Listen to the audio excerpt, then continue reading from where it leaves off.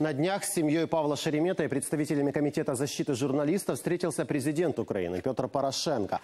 Глава государства еще раз повторил о своей заинтересованности в полном расследовании этого преступления и подчеркнул, что правоохранительные органы должны отчитаться о результатах следствия.